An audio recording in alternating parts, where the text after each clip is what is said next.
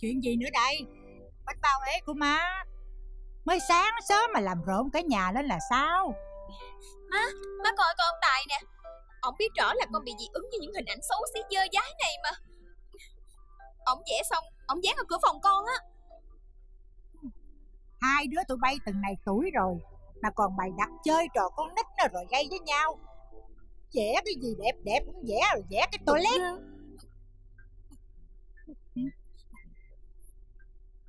Trời ơi Sao má nói tới mấy cái từ đó. Ừ, biết con mình hay sợ mấy cái từ đó. Hãy nghe mấy cái từ đó là nói tùm lum rồi. Vậy mà nói ra làm chi không biết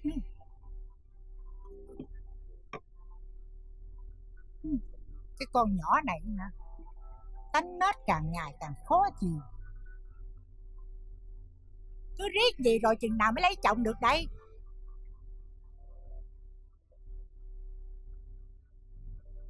Ông à.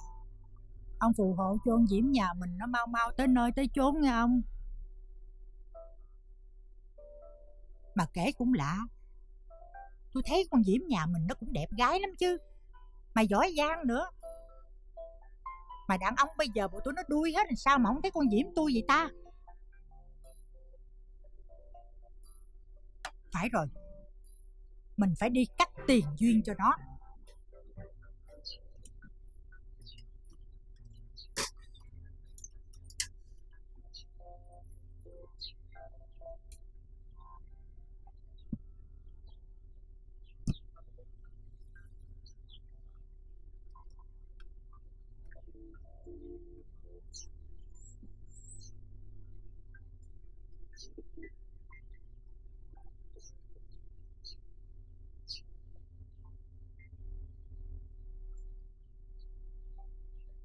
Nè. Ủa, Phải gì vậy? sống dầm ớt hiểm Đem tới văn phòng ăn chặt Cho đỡ lạnh miệng ha. Sao ông giỏi quá vậy? Biết tôi đang thèm nữa. Biết mà. Còn cái vụ hồi sáng Tôi không có bỏ qua đâu nha Ông Ê, dám vẽ nè, bậy bạ chát cái kia hả? Ừ, Mới sáng sớm mà quánh quánh người ta tùm lum ngoài đường vậy hả? Ai biểu? Đã nói là ghét nhất mấy cái đó mà. Ừ thì Thì chuột lỗi nè. Tôi lao nha. Sao? Thôi để tôi lao Tôi lao. Tôi lao trả nợ.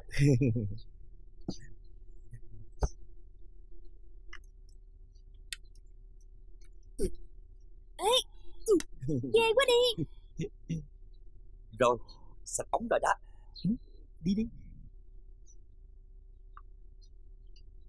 Cảm ơn ông nhiều nha. Yêu xoài nhất luôn đó. Cái gì? Yêu tài nhất hả? Lỡ tay ông đi ăn dỗ rồi hả? Yêu xoài nhất được chưa Biết rồi biết rồi biết rồi. Ừ, Người ta nghe lộn chứ bộ. Đi làm nha. Bye bye. Chúc một ngày làm việc tốt đẹp nha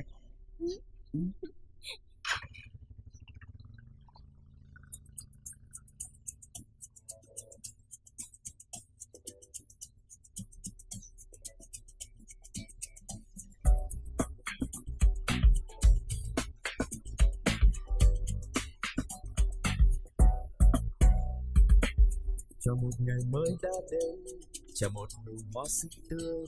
Thật tuyệt vời rồi anh nắng, bước chân em bước đi mau. Một lần đầu tiên trong tôi một ngày rồi vang câu ca. Kỳ là một đôi ai bay xa ngất ngày mãi. Mỗi một ngày tôi rồi ta luôn tự tin với bao tiếng cười một ngày thật vui hôm sau mình thấy đau.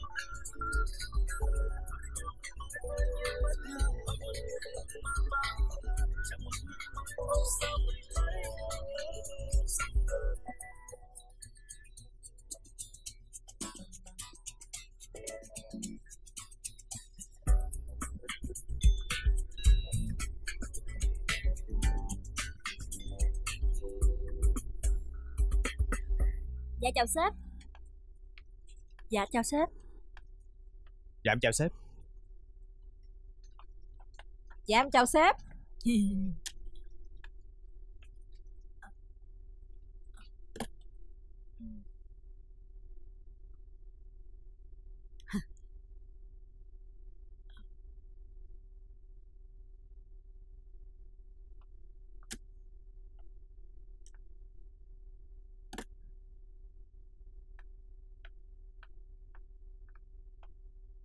Dạ, em mời sếp uống cà phê. Mấy cái đề cương kịch bản tôi cần đã có chưa? Dạ, em chuẩn bị sẵn hết rồi nè sếp. sếp coi qua đi. Cà phê hôm nay sao vậy? Hả? Ủa sao là sao sếp? Lạc nhách à? Pha lại đi. Ủa? Em em cũng phải như công thức mỗi ngày mà sếp. Sao lạc được? Không lẽ tôi lầm? Dạ thôi, để em pha lại ly khác cho sếp nha. Khoan đã, Dạ. Lấy hộp khăn giấy coi.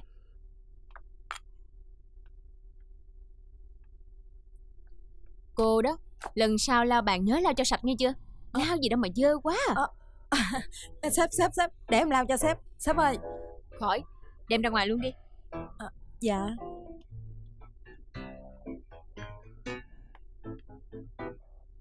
Trời Cây khăn giấy trắng nhách trắng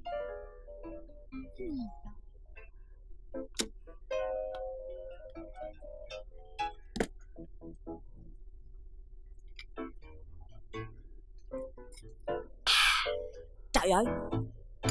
Cái lưỡi bà sếp mình chắc đi du lịch rồi hay sao á? Cà phê ngọt như đường vậy mà bà nói là hả? Nhách Hơ, Đồ cái thứ già Khó chịu, khó ưa Khó tùm lum khó. Dạ thưa nhóm trưởng, đây là đề cương em viết đợt một á. Chị xem giúp em coi đã được chưa? Em muốn hỏi thử việc ở đây luôn hả? Sao đặt cái tên vậy? Ủa, bộ có vấn đề gì hả? Chị xem giúp em đi. Em thấy á, cái tự nó rất là phù hợp với nội dung. Em muốn bị đuổi việc của công ty luôn hả Ở cái văn phòng này là cấm kỵ nhất hai cái chữ gá ế này nghe không Đem về sửa tên khác đi Lẹ lớn đi Ủa, Lẹ mà lên. sao không được chọn, không được đặt tên cái ế gì chị? Trời ơi trưởng phòng của mình á là cái ế chính hiệu đó Trời ơi, em cảm ơn chị nhiều nha. Em không có biết. Sắp xa Ừ. sắp sát à, có gì chị nhắc nhở em nha. Để em đổi cái tên khác liền. Ờ đổ đi Chứ em không có dám để cái tên này đâu. Mà chị biết không? Ờ, ờ, ờ, ờ, Cô dạ, Hiền, em... dạ. Đề cương xong chưa? Đưa tôi coi coi. Ờ, dạ, đề cương xong rồi. Mà sếp để em đổi lại cái tựa, rồi em đưa cho sếp nha. Sao phải đổi? Đưa tôi coi trước cho. Ờ, em em- đổi rồi em đưa cho sếp. Đưa đây. Ờ, sếp. Dạ.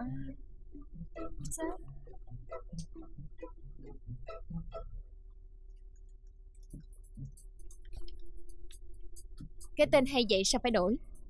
Gái ế thì sao chứ? Đắc lo ế mừng. Có đổi thì đổi đồ cô đang mặc á. Chị. Chị. Chị vậy là sao chị? Có trời mới biết, tính bả thất thường vậy đó. Em biết sếp có giận em không nữa. Hồi nãy á, sếp đóng cửa cái rầm luôn á. Ai biểu? Ai biểu em đi đặt cái tựa hả? Gái ế.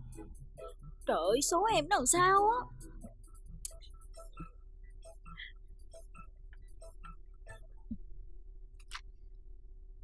Cái gì mà gái ế chứ Còn ế chính hiệu nữa Rõ ràng muốn kiếm chuyện với mình mà Sáng sớm mà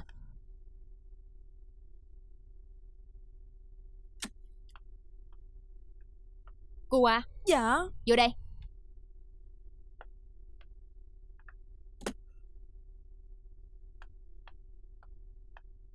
Dạ. Lấy tập bản thảo lên cho tôi Khoan, Dạ. không có được nhìn vô nó Dạ, không được nhìn.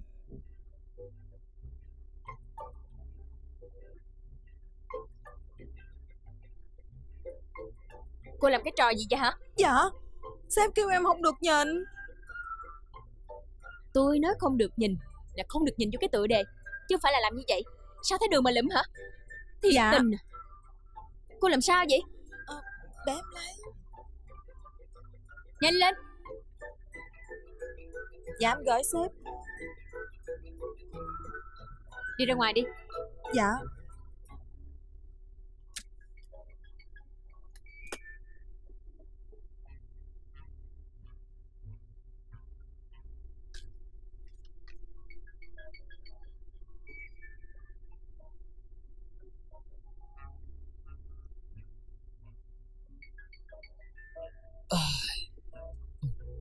Anh Tài Anh pha cho em bình trà uống đi. Buồn ngủ quá à. Vậy lau chút đi. Em muốn uống thì pha đi Anh đang làm mà.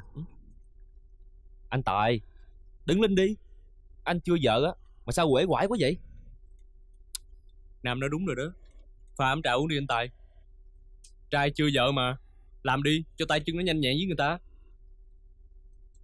Hai đứa muốn uống á thì tự đi mà pha đi ha. Sao cứ sai anh hoài vậy Ngày nào cũng sai riết rồi quen à. Mệt quá à. Mệt. Anh chưa vợ á Sao mà mệt? Tụi em á còn có việc làm cả đêm kìa. Anh ngã lưng là ngủ tới sáng Có gì đâu mà mệt. Đúng rồi đó Anh Tài chưa có vợ. Ừ, Ban đêm có làm gì đâu Cứ mệt. Thôi đứng dậy đi Làm cho nó khỏe. Trai chưa vợ Chịu khó rèn luyện chút đi cho nó hết ế Đúng rồi đó. Hết ế giùm em đi, anh ế ơi. Mà sao em nhớ ế gì mà sao em hoài còn không mau kiếm bầu lên mai này, bạn bè ai cũng có hồn để có mà đêm đêm lại không thầm. Người ta gặp có đôi, thì chỉ có đôi là đúng đỡ có anh ế ơi ế gì mà sao em hoài? Tối ngày chiều mình, đời anh không mắt từng xem nghe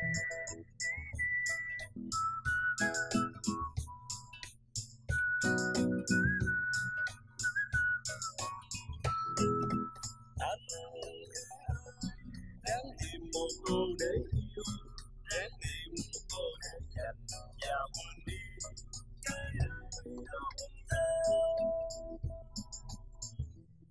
Mấy em mệt không? Chứ anh mệt thiệt á. Trời trời trời. Nào cũng lôi chuyện chưa vợ của anh ra Để bắt nạt anh không à? Nè Anh mà lấy vợ nha Là hai đứa coi chừng á. Cưới vợ đi anh Cho khỏi ế anh. Nè Ế là một lợi thế Để ta tính kế Tìm ra người tử tế Để yêu cho hết ế. Đời là thế Ồ. Hay hay. hay. Thôi được rồi, được rồi, được rồi. Bây giờ order cụ thể đi. Nếu không một lát nữa Anh đem trà vô nó không phải. Rồi bắt anh đi pha cái khác nữa. Rồi nói anh ế này, ế nọ. Ừ, Lúc đó anh nói khùng đáng chịu nghe chưa? Em một ly trà nóng. Em cũng vậy. Đứng lên thanh niên chưa vợ ơi Đứng lên đứng lên. Ngồi hoài Ờ vậy đúng rồi. đứng lên. đứng gì đi anh? Được rồi. Mấy quỷ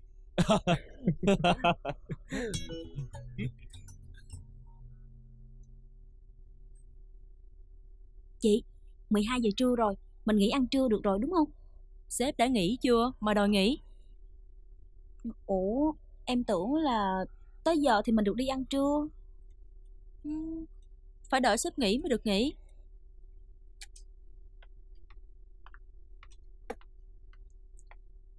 Ừ, Sếp. Ký đâu? Ê, Dạ dạ dạ ký ờ, vừa mới đi vệ sinh. Ờ, Ảnh vừa mới đi vệ sinh.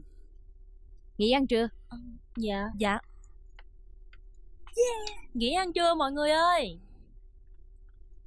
Em cũng vậy Đói từ 11 giờ. Ê ký ký Gì ký gì Ờ, Nghỉ đi ăn trưa luôn. Ủa ủa bộ bộ gái ế đi ăn cơm rồi hả? Ừ. Đi rồi. Mới vừa đi tắt thì đó. Mới đi đó. Làm tôi nãy giờ đi toilet cứ gấp gấp gấp gáp không à. Tưởng đâu ra sợ sếp không thấy tôi Rồi mất công la tôi nữa. Thiệt tình luôn. Trời ơi vậy luôn á Ký ký em nói Hả? nghe nè Trong văn phòng mình nó có mình anh là con trai à Anh làm sao cho sếp dễ tính chút đi? Là sao? Trời ơi vậy mà không hiểu nữa Ông Ừ. thấy không? Sếp mình bà bị thiếu hơi. Trời ơi ta nói bà nhăn nhau á Bà câu câu á Bà khó chịu. Ừ. Thấy không? Làm cho bà vui đi. Ê. Hả? Nghĩ sao vậy? Ê Có vợ có con rồi nha. Tôi là người đàn ông của gia đình đó. Thì hả? Anh cho sếp mượn chút xíu Chứ có lấy luôn đâu mà làm cái gì. Có vợ có con Ừ, rồi nha. làm như lại gái đi, Lúc đó âm dương hòa hợp.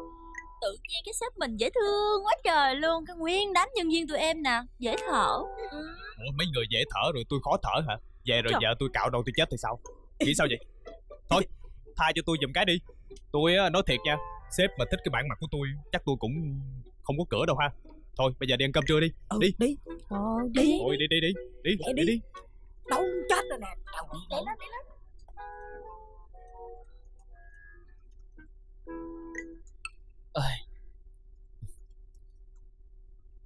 Nắng nồi quá.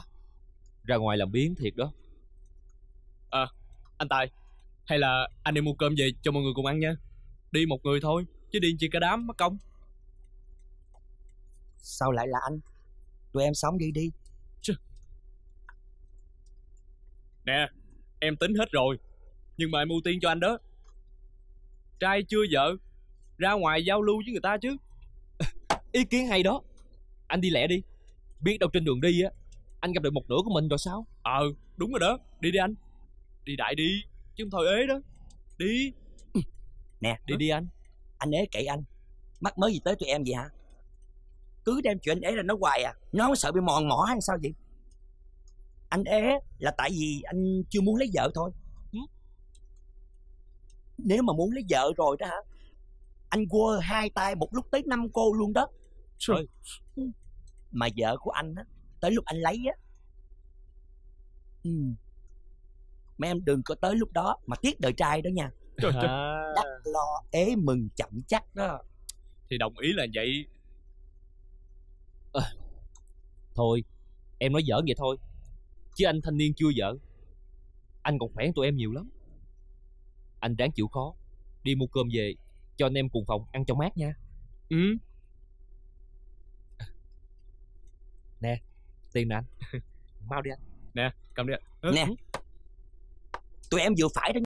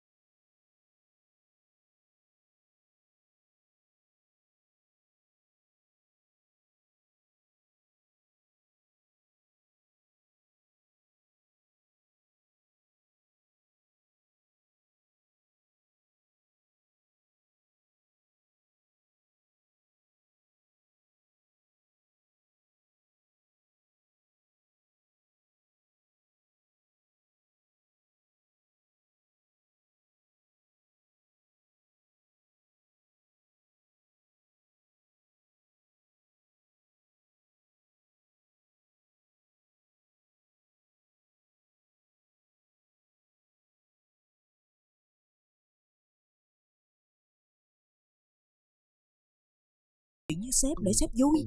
Không được đâu chị. Sao đó? Hồi sáng em mới bị sếp nhắc nhở gì mặc áo chung màu. Thôi.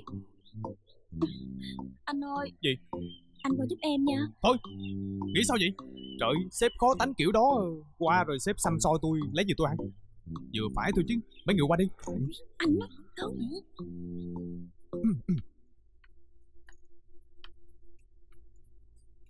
Ủa? Bộ tôi là cọp hả? Ờ không có Thôi ngồi đó luôn đi Tôi ăn xong rồi. Chết rồi Cái này là chết chắc Nè Có khi nào á Sếp giận tụi mình luôn không? Sếp chưa ăn gì hết kìa. Thì tôi là đàn ông Tôi lỡ nói rồi. Mệt ghê vậy. Rồi hả? Chiều nay hả? Là một mình tôi á lãnh đủ luôn á. Bởi vậy Trời ơi con cầu xin ông địa phù hộ cho sếp con Sớm có bạn trai Rồi sớm có chồng Để tâm tính thay đổi cho tụi con dễ sống đi ông địa ơi Nam mô A Di Đà Phật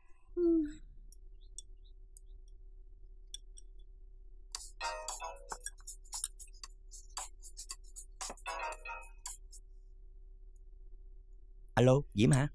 Cái gì vậy? Ông qua nhà tôi liền nha Vào bệnh hả? Ừ Nhanh nha Tôi qua liền. Ừ.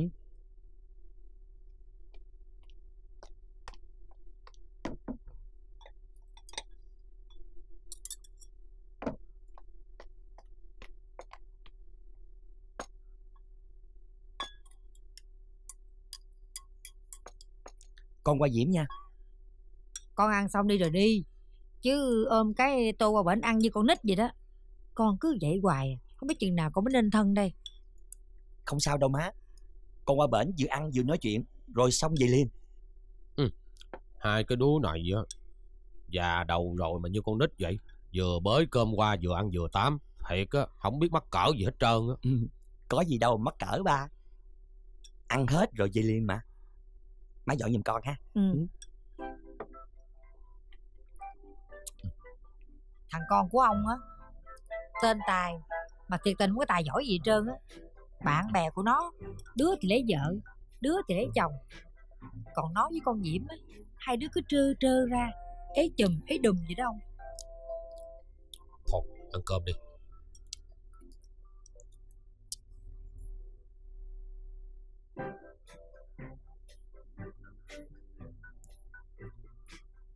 Thưa bác con mới qua. Ủa Diễm đâu rồi bác? Ở trển á Không hiểu có chuyện gì ở công ty Mà về mặt mày nó chù ụ á. Con lên coi làm sao rồi lỡ lời ăn ủi nó nghe. Bộ có chuyện gì hả bác? Ừ. Sáng nắng chiều mưa Ai biết có chuyện gì. Mặt mày nó ủ rũ một đống luôn. Ừ, Vậy con lên trển coi Diễm sao nha bác. Ừ. Ừ con lên đi chỉ có tụi bay là hiểu nhau an ủi nhau thôi. Dạ đúng rồi đó bác. Con lúc nào cũng làm cái bao cát để mà cho diệp chút cái tức giận của mình đó. Khổ vậy đó bác. Ừ. Thôi bao cát lên đây. Bao cát lên nha bác. Ừ.